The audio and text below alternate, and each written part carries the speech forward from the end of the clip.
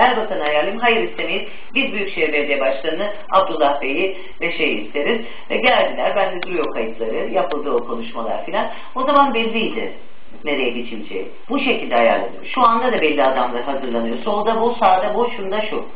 Bunların hepsini, bunları Nelson Letsky denen CIA istasyon şefi diyor ki Büyük Millet Meclisi'nin her tarafındayım diyor. Şimdi böyle adamlar getiriliyor, getirilir getirilmez deniyor ki özelleştireceksin. Burada sıkıntı istemiyorum bir ülkede.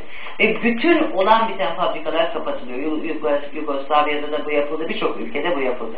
Ondan sonra aç ve işsiz olarak sokaklara dökülen insanları, evinden de belki çıkamayan insanlara ya da televizyonda e, zehir enjekte edilmeye başlıyor. Yemekteyizden başlıyor. Senin bütün kutsallarına, nimetine hakaret ediyor. Yaşlıların hepsini uçkur peşinde gösteren evlilik 68 ülkenin de birden başlatıldı bunlar.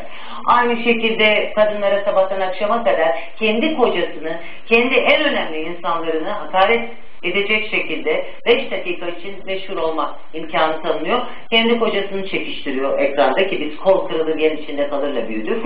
Bütün bu e, şeyler yani aklınıza gelebilecek her türlü kutsal tabu yıkılıyor. Hanımlarımız eğer eğitimliyse Sex and the City, Desperate Housewives'la yalnız ve özgür kadın, feminizm itekleniyor. Ee, e, işte gördüğünüz Yemekteyiz programında bir hanımın hanım pazarladığı çıktı ortaya. Evet, evet. Bunlar ortaya çıkıyor. İnanılmaz bir düşme yaşanıyor kültürel olarak.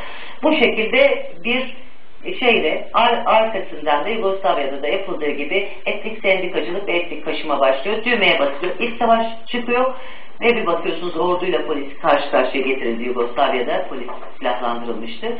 Ve daha sonra barış gücü askerleri gelip biz sizi ayırmaya geldik deyip petrol bölgelerine, havzalarına ya da stratejik bölgelere el koyuyorlar. Bu şablon herkesin aklında dursun. Peki çok teşekkür